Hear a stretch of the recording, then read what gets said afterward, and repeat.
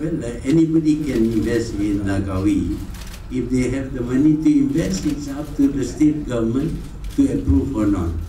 This is a, a project in the state of Kedah, so it will be uh, dealt with by the state of Kedah.